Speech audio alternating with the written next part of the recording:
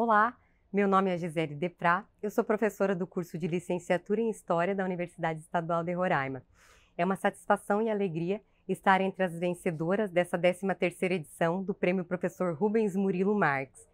Poder representar o extremo norte do Brasil e compartilhar uma experiência educativa que envolveu os alunos de História é muito importante para a universidade, para o curso, para os alunos e especialmente para mim, porque isso me ajuda a continuar. A minha experiência educativa é intitulada História e Memória, o Museu Integrado de Roraima como um espaço de ensino e aprendizagem. A ideia dessa atividade, ela se fortaleceu no fim da pandemia com a retomada das aulas presenciais.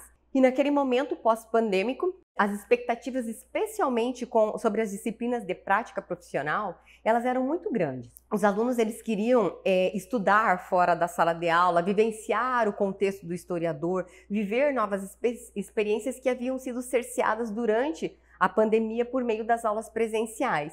E a fim então de corresponder a aquelas expectativas e ao mesmo tempo atender à emenda da disciplina e às demandas do curso, é que foi pensado em uma ação educativa com o Museu Integrado de Roraima.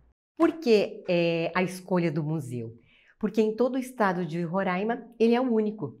É, assim como existem é, muito poucas outras é, possibilidades para o desenvolvimento de aulas práticas que permitam a inserção e a integração de alunos.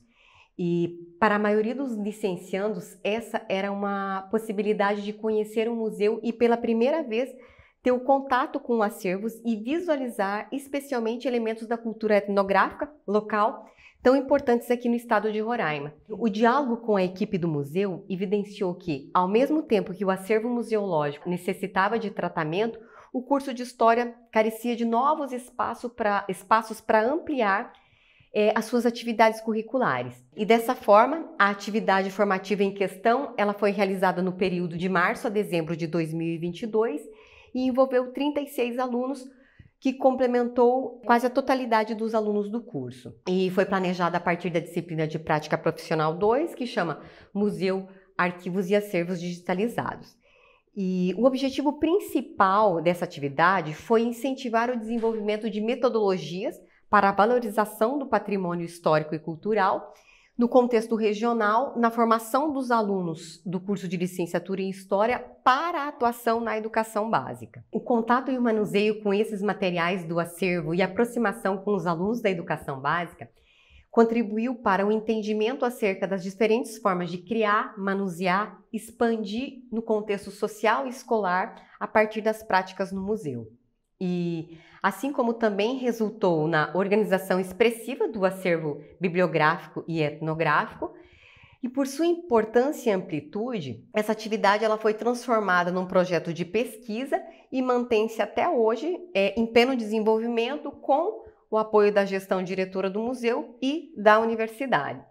E outro aspecto muito legal disso tudo foi que a experiência trouxe a possibilidade de interação e partilha com ingressos do curso que atuam na educação básica é, e que, por sua vez, estimula e motiva os alunos em formação. Acredito que, a partir dessas práticas, os alunos estarão mais preparados para atuar na educação básica, uma vez que essa atividade ela promoveu possibilidades diferentes do uso do museu nos processos de ensino e aprendizagem.